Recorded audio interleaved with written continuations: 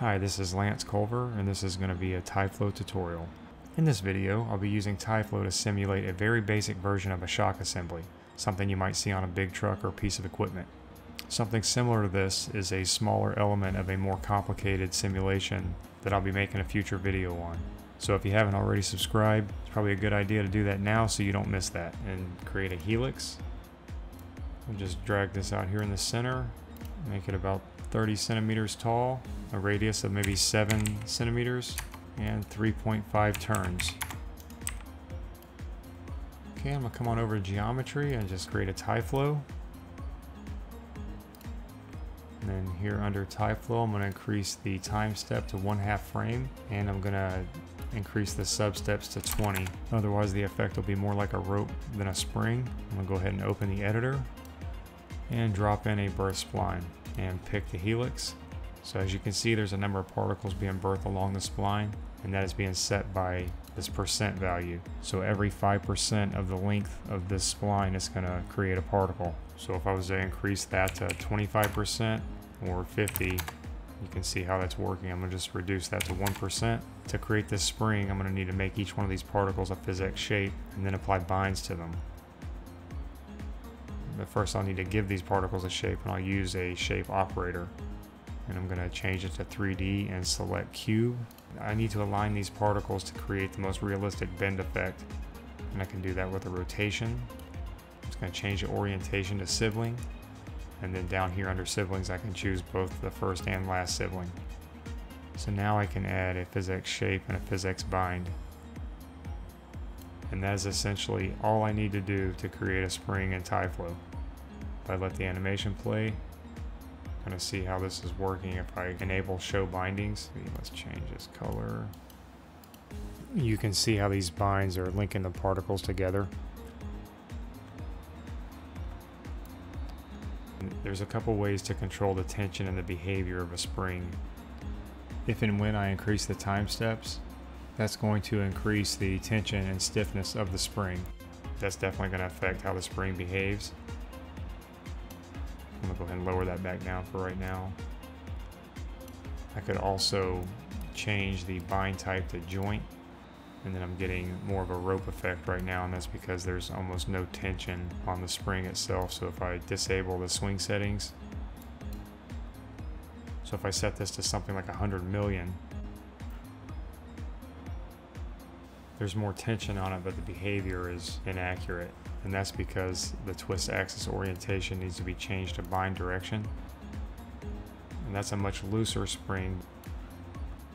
I can also enable drive, and that's going to create more tension in the spring, a little bit more bounce. So now I'm just going to go ahead and create a cylinder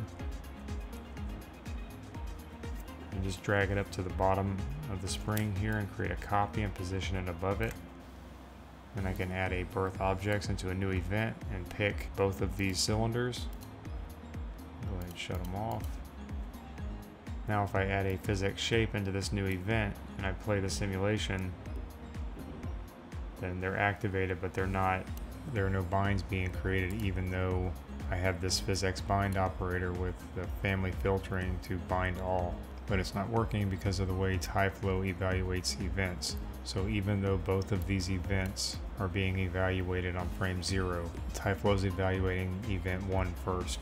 So at the time this PhysX bind operator is executed, event number 2 hasn't been evaluated by Tyflow so it doesn't see it. I could add a PhysX bind here into event 2 under PhysX shape, but just to demonstrate I can, I can select the bar here and I can change the evaluation priority to 2 and now it's creating binds. I can come back into the PhysX bind operator and reduce the bind distance to maybe one centimeter. So now I'm just going to create a box beneath this spring. I'm going to make a copy and drag it up to the top. Go ahead and scale it a little bit on the x-axis.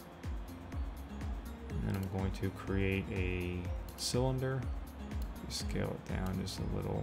And I'll create a copy, smaller version of it, maybe scale it up something like this.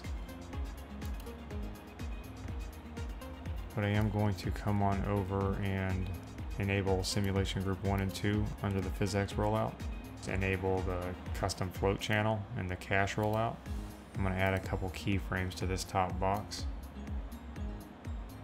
So now there's a little bit of an animation. Okay, now I'm going to separate these two cylinders. I'm going to do it with a surface test. I'm going to pick this top box and I will drag an object bind into a new event, connect that to the surface test, and pick the top box. So now if I scrub through, you see it's not exactly working the way I want it to, and that's because this is still an active physics object and there's forces being applied and now with the additional forces of the object bind it's just causing it to behave in an unexpected way so I can solve that by using a PhysX switch I'm going to change that to kinematic. And if I wanted to apply animation to this bottom box I could just add another object bind in here beneath the surface test. So now I can use a birth objects in a new event. Select each of these cylinders click add selected. I'm going to deselect center all pivots. And I also need to separate these so I'm going to use a surface test for that. And I'm going to pick this top box. And I will use an object bind pick that top box and connect that to the surface test. Turn those cylinders off. Drop the particle groups into this event. I'm going to change it to group 2 I'm going to drop one into this first event and change it to 1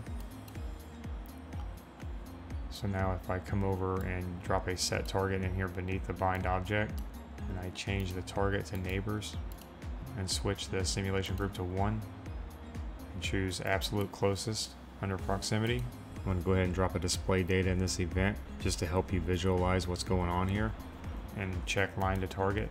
Just go ahead and shut these off for a second. So now all I need to do is tell my cylinders to align themselves along this line and I can use a rotation for that. I'm dropping in here beneath the set target. I'm going to choose target align. And right now they're aligning themselves to the particle with birth ID 0, which is this top cylinder. But if I change the channel to target, change the timing to continuous, those cylinders will stay aligned on their target.